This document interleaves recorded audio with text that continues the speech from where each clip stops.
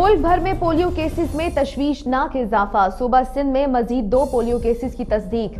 رواں برس سامنے آنے والے پولیو کیسز کی تعداد سو ہو گئی۔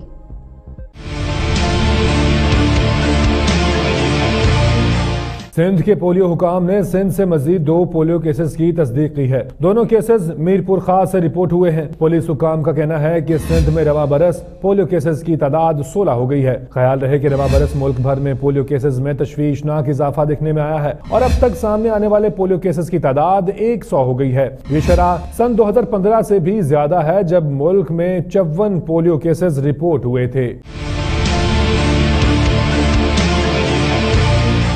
صرف خیبر پختونخوا میں ریکارڈ کیے گئے پولیو کیسز کی تعداد بہتر ہو گئی ہے۔ سولہ کیسز سندھ میں، سات بلوچستان اور پانچ پولیو کیسز پنجاب میں سامنے آ چکے ہیں۔ گزشتہ روز وزیر اعظم عمران خان نے انسداد پولیو مہم کا آغاز کرتے ہوئے کہا تھا کہ انسداد پولیو مہم میں جان دینے والے ورکرز قومی ہیرو ہیں۔ پولیو پر قابو نہ پایا گیا تو عالمی سطح پر مسائل پیدا ہو سکتے ہیں۔ انہوں نے کہا تھا کہ اگر کسی وجہ سے ورکر آپ کی دہلیز تک نہ پہنچے تو مائیں خود اپنے بچوں کو پولیو کے قطرے پلانے کے لیے لے کر جائیں۔ ہم سب کو پولیو کے خاتمے کے لیے کام کرنا چاہیے۔